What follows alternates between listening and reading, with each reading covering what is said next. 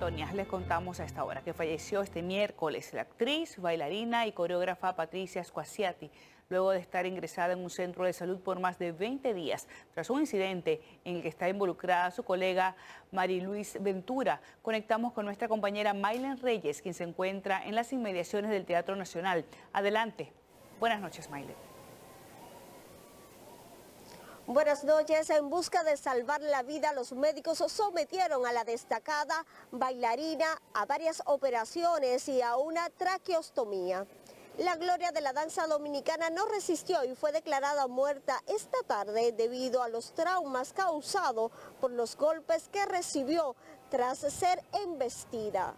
El coreógrafo y productor de espectáculos Chiqui Haddad manifestó que el arte del país está de luto tras la muerte de Patricia Squasiati. Una excelente coreógrafa, tanto de música popular, música clásica, tiene unos trabajos espectaculares de, de, música afro, pero, pero, pero tú no te imaginas espectacular.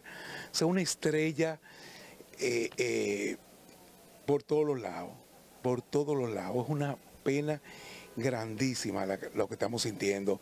Por el caso le impusieron tres meses de prisión preventiva como medida de coerción a Marilois Ventura a solicitud del Ministerio Público que considera el accidente como un intento de homicidio.